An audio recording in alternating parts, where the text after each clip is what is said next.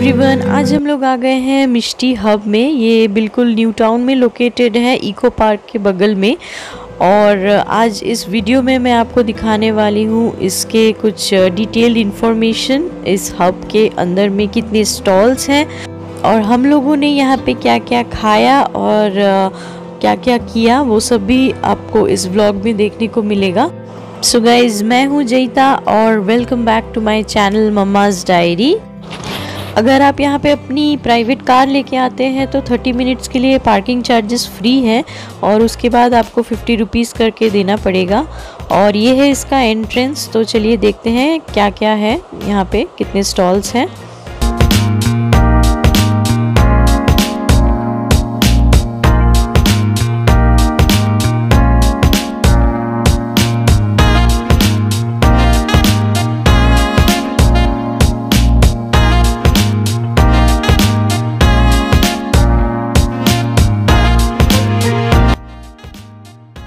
First stall है Hindustan sweets, वहाँ पे ज़्यादा भीड़ नहीं थी। सेकंड स्टॉल है नवकृष्ण गुइन तो जो कि एक फ़ेमस स्वीट शॉप है। थर्ड आपको मिल जाएगा यहाँ पे हल्दीराम्स, जहाँ पे हम लोग गए थे समोसा चाट खाने के लिए, लेकिन वहाँ पे अवेलेबल नहीं थी। नेक्स्ट जो आउटलेट थी, वो थी मिठाई स्वीट शॉप। तो यहाँ पे भी बहुत अच्छी अच्छी मिठाइयाँ मिल रही थी, लेकिन हमने वहाँ से कुछ खाया नहीं। हम लोग ने पहले हर स्टॉल देखा और फिर जो अच्छा लगा वहाँ से हमने खाया। यहाँ पे नेक्स्ट स्टॉल है स्वीट बंगाल यहाँ पे आपको लवंगो लोतिका ये सब बहुत फ़ेमस है यहाँ का और बहुत यूनिक स्वीट्स भी थी यहाँ पे। फिर भीड़ बहुत ज़्यादा थी। देखिए क्राउडेड थी प्लेस तो हम लोग थोड़ा अवॉइड कर रहे थे, लेकिन फिर सोचे कि ठीक है, जाते हैं, जाके देखते हैं एक बार। फिर नेक्स्ट जो आउटलेट थी वो थी नौलिन चंद्र दास एंड सन्स यहाँ पे आपको चॉकलेट सौंदेश, फिर जल भरा, ताल शाँस या, ये सब यूनिक स्वीट्स यहाँ पे मिल रही थी। तो चॉकलेट संदेश हम लोगों ने पहले ट्राई करके रखा था तो फिर हमने यहाँ से खाया नहीं। और नेक्स्ट देखिए गंगू राम है। गंगू राम के स्वीट्स तो बहुत ही ज़्यादा फ़ेमस है ये सबको पता है। तो हमने यहाँ से कुछ ट्राई किया वो मैं आपको बाद में बताती हूँ कि हम लोगों ने क्या खाया। फिर नेक्स्ट जो आउटलेट थी वो थी बलराम मलिक राधा रमन मलिक सो so, यहाँ पे देखिए बहुत ज़्यादा भीड़ है तो हम लोग यहाँ पे ज़्यादा रुके नहीं। और मैं और बुनान तो एक साइड में ही खड़े थे ये वीडियो भी मैं नहीं कर रही हूँ मेरे हस्बैंड कर रहे थे। और नेक्स्ट जो आउटलेट थी वो थी गुप्ता ब्रदर्स फिर नेक्स्ट यहाँ पे था बांछाराम. बांछाराम के भी बहुत ज़्यादा स्पेशल स्वीट्स हैं, बहुत ज़्यादा फ़ेमस स्वीट्स हैं. फिर जो लास्ट आउटलेट थी वो थी केसी दास. यहाँ से भी हमने कुछ कुछ लिया था पार्सल भी लिया था और यहाँ पे बैठ के हमने खाया भी था. और यहाँ पे देखिए बहुत सुंदर से इन्होंने सजा के रखा है। प्लस आप यहाँ पे परचेज भी कर सकते हैं।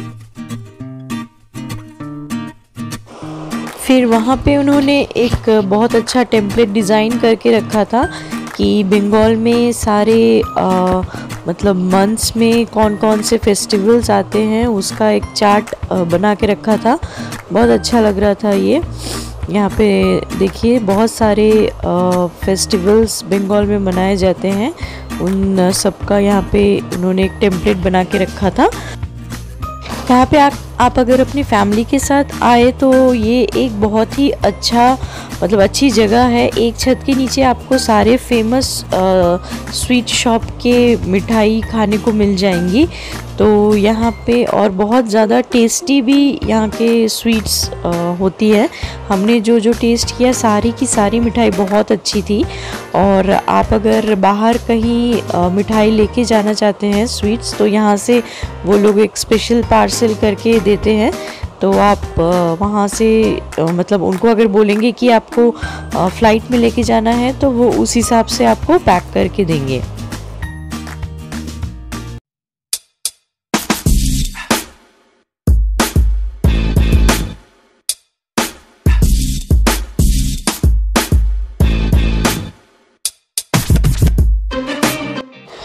तो हमने लिया था एक राबड़ी, एक प्लेट मीन्स ये 100 ग्राम राबड़ी है। 100 ग्राम राबड़ी का प्राइस था फिफ्टी रुपीज़ गंगूराम से हमने लिया था। और सैंडविच भी हमने गंगूराम से लिया था। और एक महाभोग लिया था। वो भी फिफ्टी रुपीज़ का है एक। वो हमने केसी दास से लिया था। तो अभी हम सैनिटाइज़ कर लेते हैं और उसके बाद चलिए जल्दी से खा लेते हैं। और फिर मैं आपको खा के बताती हूँ कि टेस्ट कैसा लगा।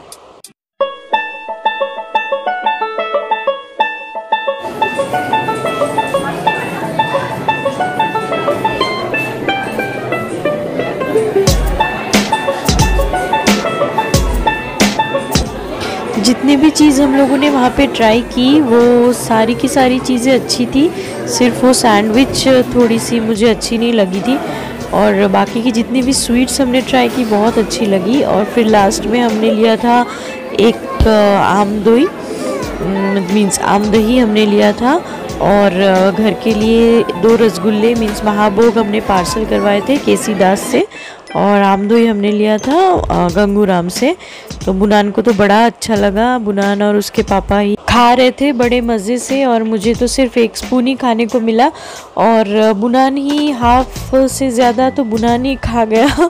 और जो बचा कुचा था वो उसके पापा ने खाया।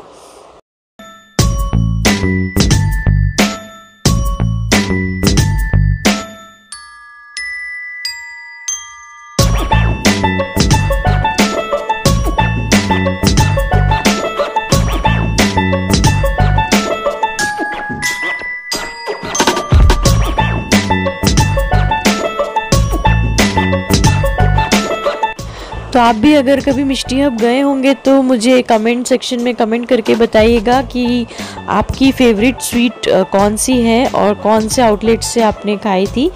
तो चलिए, इस वीडियो को मैं अभी यहीं पे एंड करती हूँ।